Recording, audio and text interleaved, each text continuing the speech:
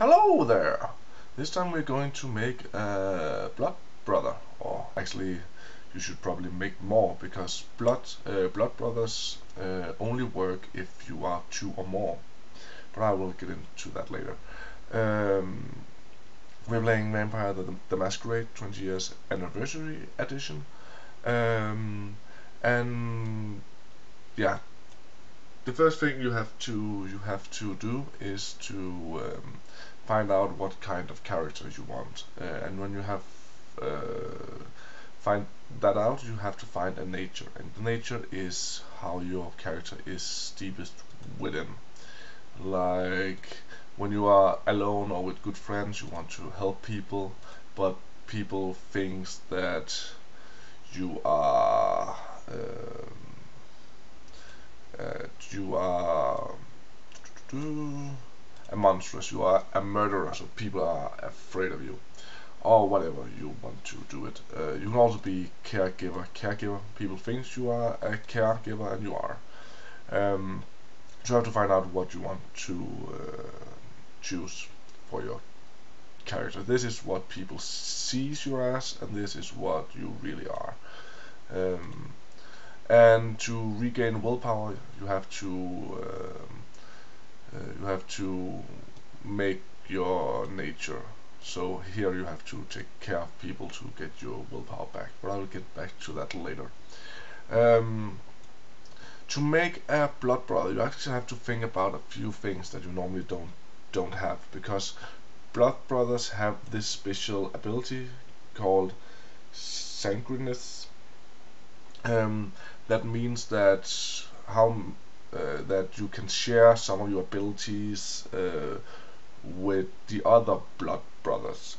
Uh, the first one uh, makes that you can uh, help one of your blood brother uh, heal by using one blood point. and blood point is what you use to use abilities is down here and to heal your wounds or increase your physical attributes um, so you can use one blood to heal them. Uh, so even though that they cannot use more blood or don't have more blood in their body they want to use you can give them blood to heal. Um, the second one is that you can begin to give the other blood brothers limbs meaning that your arm just disappear and it reappear on your fellow blood brother um, or give them more eyes so they can see uh, see wider or you can give them legs to they are not that easy to fall back or whatever purpose you want. Um, more mouth to uh, feed faster or something. Um, extra arms and so on don't give you more attacks but you can use it to grab on to people and hold them uh, steady while you are uh, feeding from them, attacking them with your other arms, or so on. That's the that's the second one, and the third one is quite interesting. The third one gives you a lot of abilities. It gives you telepathy, so you can speak with your fellow bl uh, blood brothers. It makes that uh, your difficulty on your perception rolls are three lower because you can see through the other's eyes uh, while you still see through your own and you can actually use that without getting confused. Um, you can and this is one of the great powers you can give your other blood brothers some of your uh, some of your abilities. So you can uh, if one is attacked and is not very good at melee and you have like four or five you can give him your 5 melee so he can fight fight off this enemy or if he's not good at see if people are alive you give him your empathy or so on. Um, but you have to get out of combat and concentrate so you cannot do much else uh, while you're giving but you can just give on whatever they really need. Uh, and also it makes that um, if someone is trying to mind control you or have your willpower as a difficulty, uh, like here, they have to go for the blood brother with the highest one. So if you only have like one, but one of your uh, blood brothers have 10 up here, um, they their difficulty is 10. So, um, and yeah, that's mostly what the abilities uh, gives you. And when you're using this, um, every blood brother have to use one blood point to accept you using this power. Um, so if one doesn't want to give one blood blood point and the other has give given one, the ability fails. Um, and you uh, you don't necessarily have to have this ability, but if you want to you mean if you have zero and your friend have three, they can still give you limbs and so on. You can just not help them with giving limbs or blood points or willpower or so on. Um, so yeah, you can only have one with this ap ap uh, ability, or you could have like five with with them. So you can just you know juggle around with blood points and limbs and whatever you want um, but I will get back to back to this. But that means that uh, I will recommend one of you going all out fighting, then one go all out social, and one go all out mental. And then if you need something from from the other blood brothers, you can just like, oh, you try to use an intelligence craft roll. Oh, I have four in craft here. You can take take my my my four, and then you have nine dices. Um, so you have to think of what you want to specialize in so you can give it on to the other blood blood brothers. You cannot give uh, attributes and you cannot give disciplines and backgrounds and virtues, but you can give like abilities, you can give blood, willpower, um, and so on. Um, so depending on what you want to make, you should uh, try to maximize your physical, social or mental out. Uh, since there are other two abilities are mostly fighting, so I will just make a fighter and the others can just make a social or mental. Um, since that we have uh, potence increase your strength and fortitude increase your stamina, I think that the most important thing for you to have is dexterity.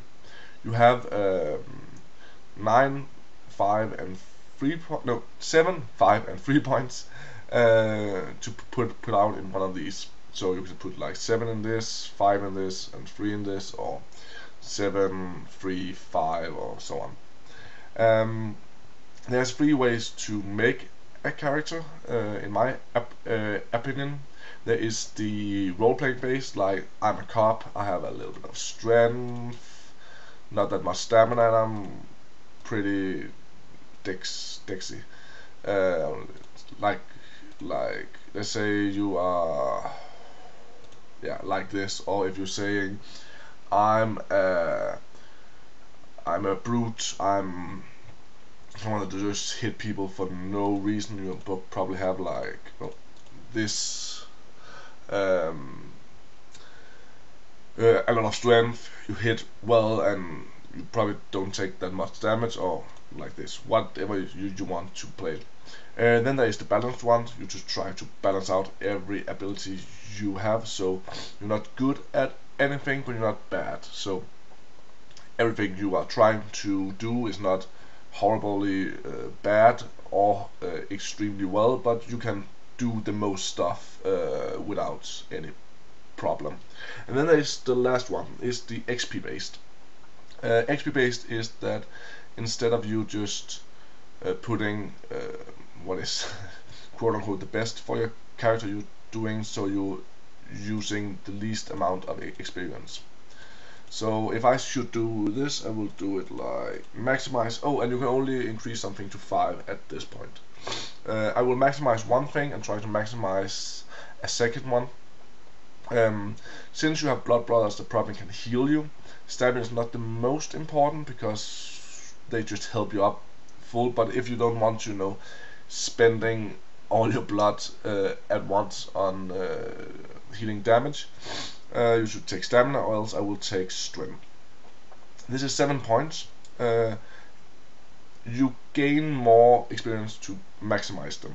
Um, for example, over here, if we use three points here, it will be like this, and every point you have cost uh, four per dot you already have.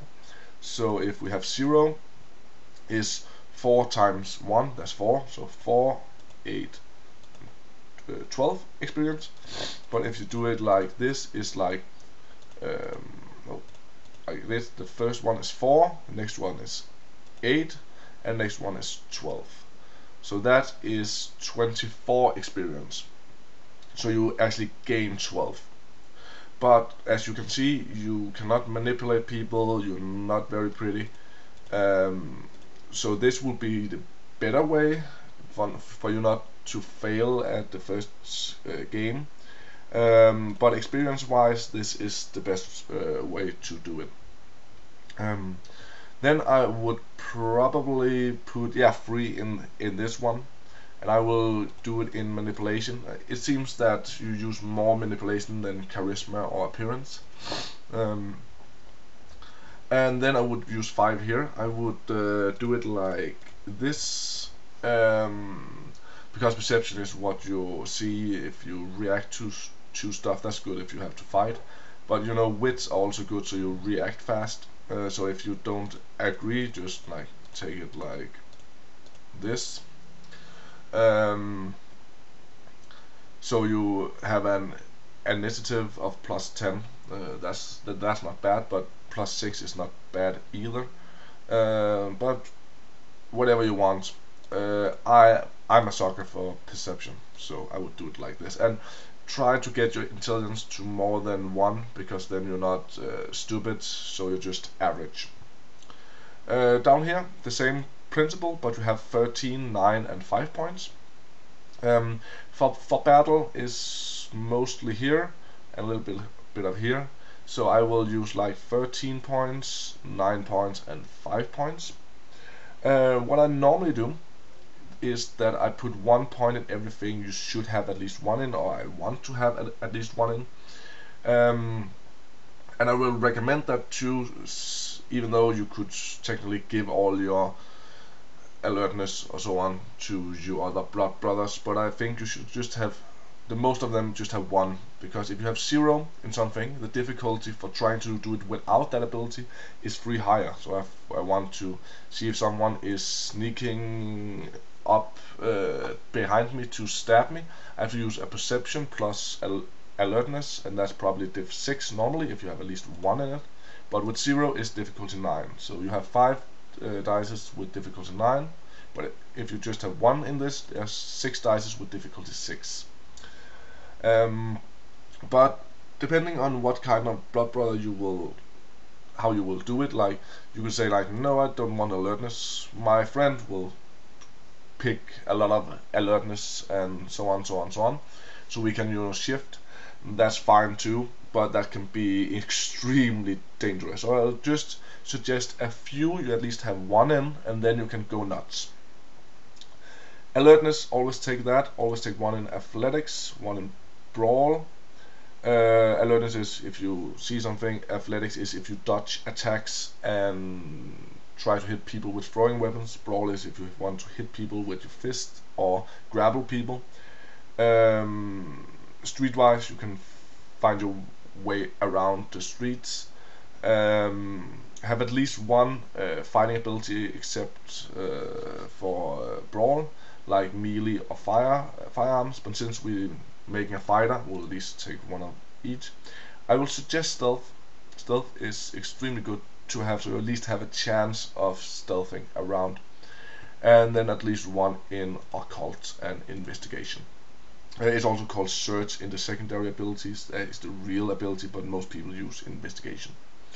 Uh, these are those you at least should have one in, uh, in my opinion. Something I think you should consider taking is larceny, so you can break up a door, uh, uh, lock picket or lock um, steal a car or something like like that and empathy so you can see if people are lying and subterfuge so you can lie yourself but they are not extremely necessary and I also suggest like and drive one so you can at least try to drive um, we have 13 points uh, in in this one. Uh, here you can do it again like you try to roleplay it, like oh my person is okay good at driving and uh, he he's not he's not a, a, a newbie on breaking uh, lockpick doors and so on. Uh, or you can try to balance it again like um, try to balance it as much as possible or you can XP base it again. And XP base it is like uh, if we take it over here we have a little bit of space. Let's say you put three you have three points and these cannot be increased to more than three that's why I say three. You can do it like this for starting something from 0 to 1 costs 3 experience so that is 3, 6 and 9 experience points. Uh, if we are doing like this it costs 2 for each dot you already have. This was 4 uh, so it costs 3 to start it. 2 more because 1 times 2 is 2 so that's 5 and the next one is 4 extra that's 9 so th this is 9 and this is 9 but if you do it like this it's only 3 6 8 so you lose 1 experience points if you do it like this but it's not necessarily bad to have oh and something you also should have is academic 1 so you can read and write and calculate basically um, so I will put three in firearms and melee. Uh, I will put three in stealth.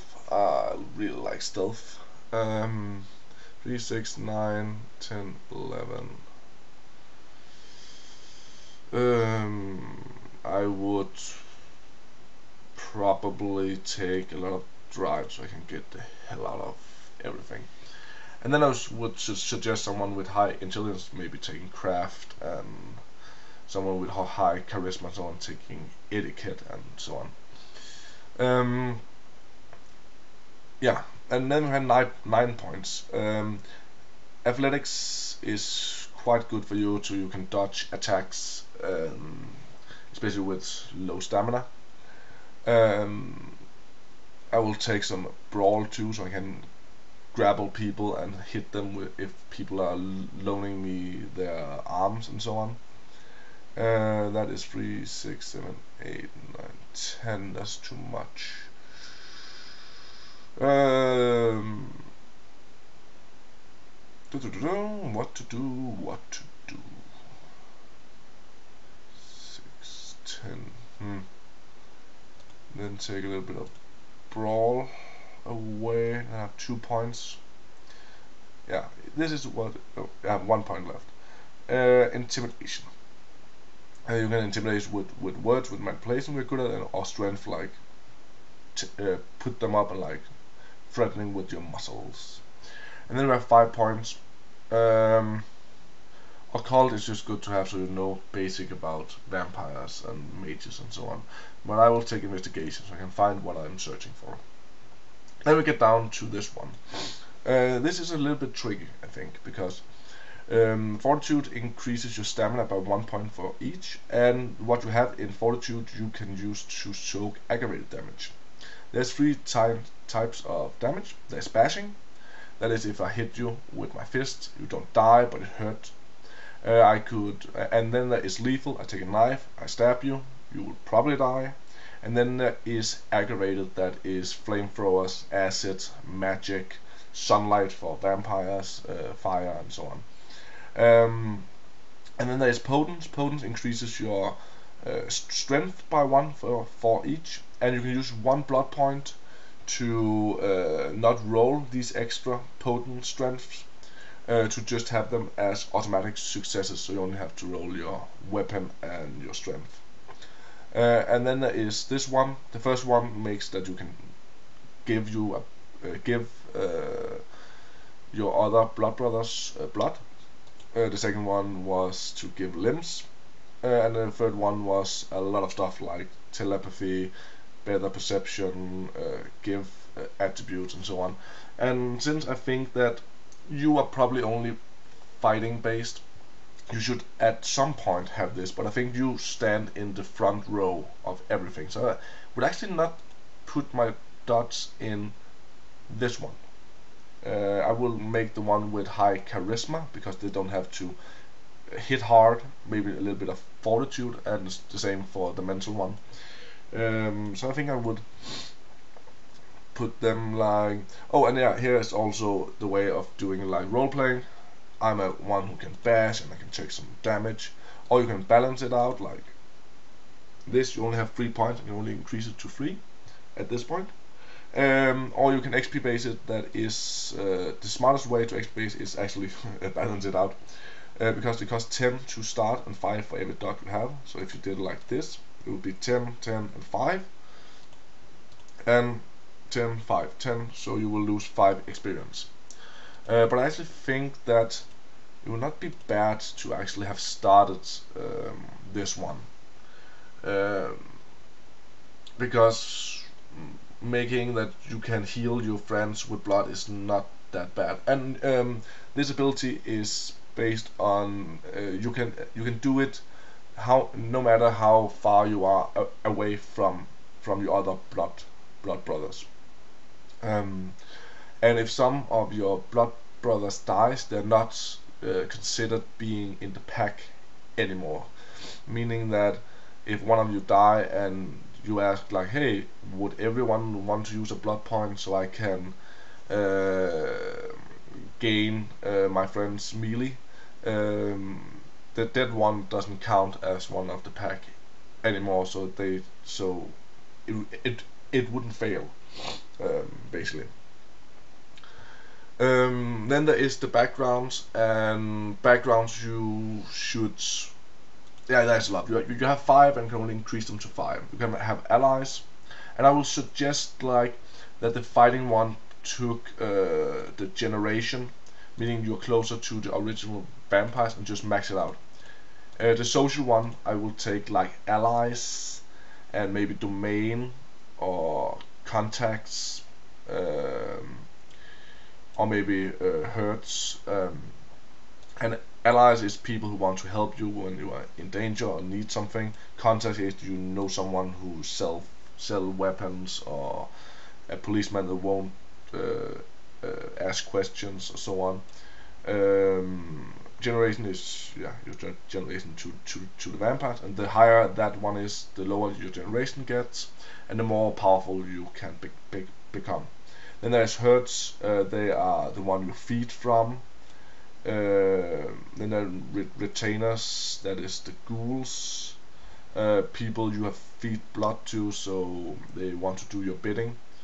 Um, and resource is you start with a lot of money. Maybe the mental ones should take that or maybe whatever you actually want. But um, for, for the fighter I will take gener oh sorry the generation one. Um, then you have uh, virtues. This is uh, the first one is how easy you have have by killing people. Uh, is it easy for you or do you have a hard time killing people? Uh, morally based. And self-control is that if you need a lot of blood do you go in frenzy and just try to kill everyone until you get the blood you want? And courage is if you see fire sunlight something you're afraid of and so on do you flee? Um, these two makes for your humanity and the last one makes for your willpower. Uh, humanity is that how human are you? Uh, if you have like 10 you cannot think a selfish thought uh, without rolling uh, your conscience roll and if you have like one you can do basically everything you want but it's very clear that you are a vampire. Um, and if you are in, in, the middle I think you are well set. Um, but if you reach zero in your humanity you become uh, consumed by the beast and the beast is like the curse of the blood meaning that you go in, in, a, in a rampage. You only um, sleep feeds uh, and kill. You don't do much else, and your character go out of the game because they are not playable. Um, so again, you can use it like balanced or role-playing based. Um, since you are one who going to kill a lot, uh, I would increase your conscience to max and your courage to um, to um, four uh, unless that uh, one of the other blood brothers want to do that the willpower are based on their willpower instead. Uh, I will maybe take self-control. Um, but I don't like to be mind controlled, so personally I will put the courage one. And then with my experience, buy a little more self-control. Uh, but that means that we have like 6 in humanity, so we are normally humane, and we have a willpower of 4. Um, willpower, there's these boxes uh, be below it, meaning that if you want to hit someone, uh, and in our case it will be dex plus melee, so we have like 8 dice to roll, and you're afraid of not hitting, or you just want to be sure to hit, you can mark one, one of these off. That means you use one of your willpower. So your willpower is currently at 3 points. Um, but then you get an automatic success, meaning that uh, you have a slightly higher chance of hitting and hit well. But you don't get, get these back uh, except for every session, uh, for every story you have played, uh, every time you uh, fulfill your nature, like probably not caregiver, you have to find someone that suits that suits your playstyle. But every time you do your nature, um, and uh, or if you use the optional rule uh, that you get one back every day, you just do nothing, just relaxes and get your will back. Um, you only have uh, this many health bars meaning that if you get the one the first damage you have to mark it off like uh, bashing. This it, that, that is the dot. Uh, lethal is the slash and the X is aggravated damage. Um, and if you uh, these are the penalties you get for doing anything while uh, in such a bad shape. Meaning if you have like this you have minus one die to everything you are doing and when you get down to injured you don't plus these two. There's just still only minus one die. Then is minus two die two die five die and then you are incapacitated. If you get one more damage you die for for real. But if you have like getting lethal people have stabbed you with knives all day uh, like this and you get like five lethal more damage is 1 damage, 2 damage, and then this changes to aggravated.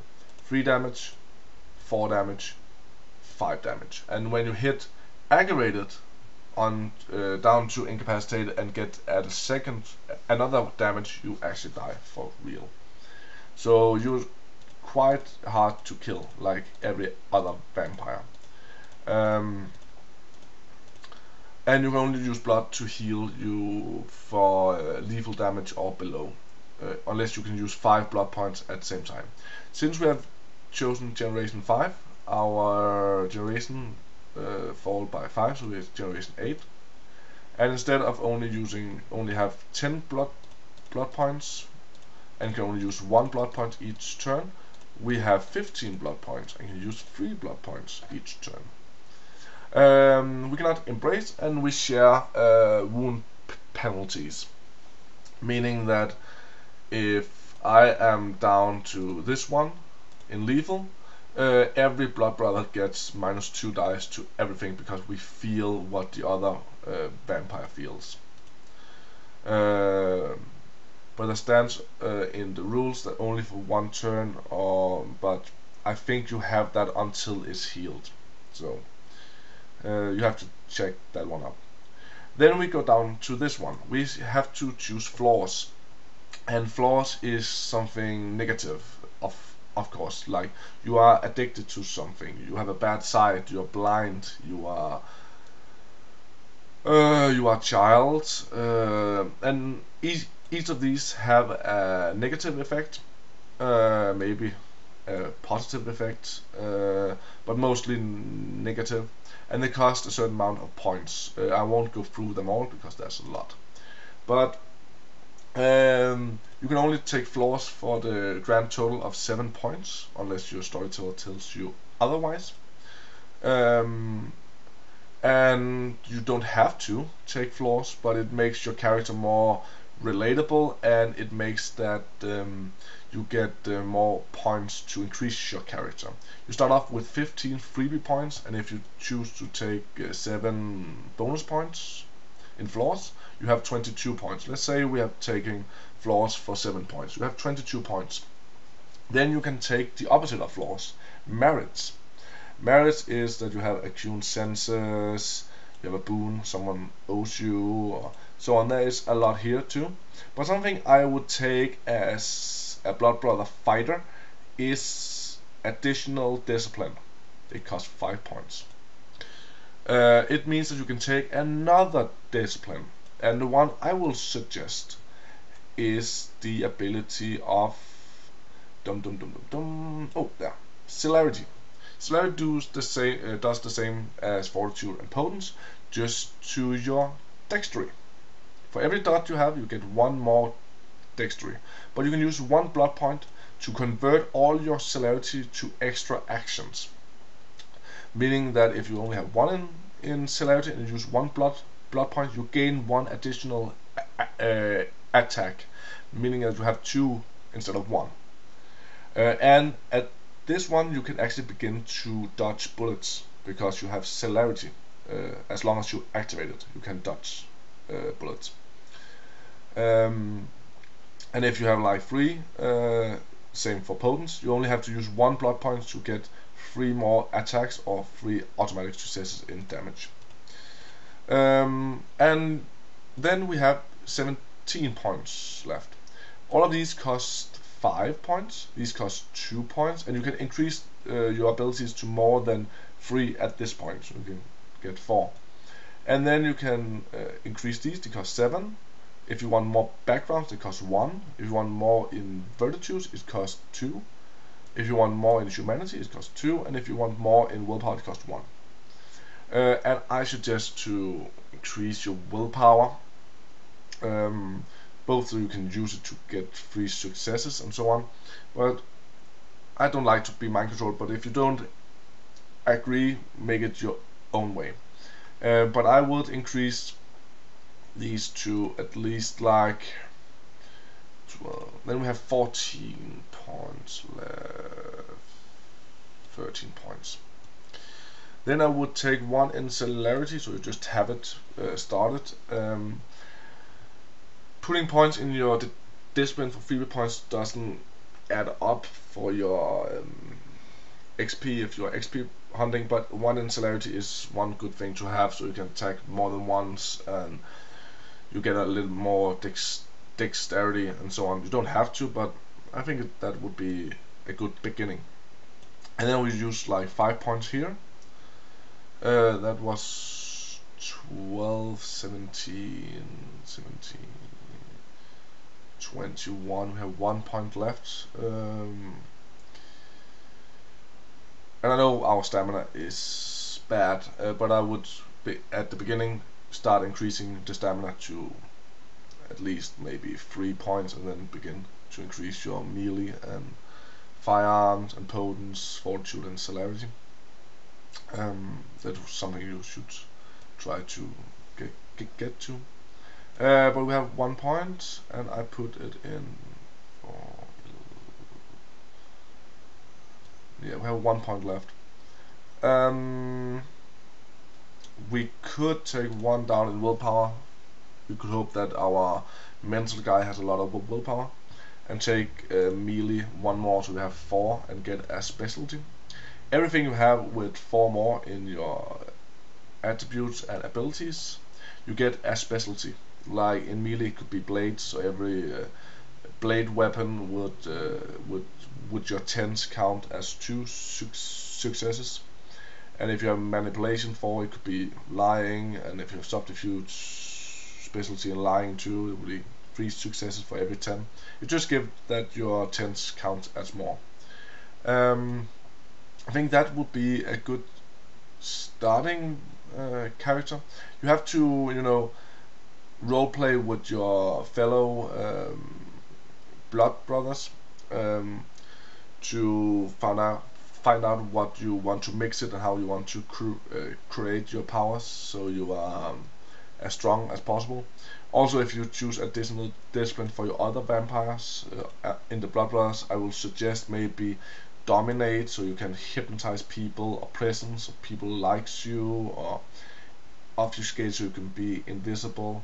Something that you can learn, uh, you can share with your other Blood brothers by learning them these ab ab uh, abilities, um, or just so you have something different. Um, so the social one can uh, get people to do whatever you want and so on.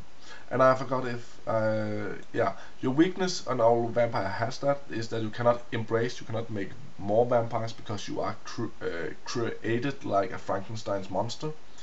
And uh, the wound penalties I talked about earlier.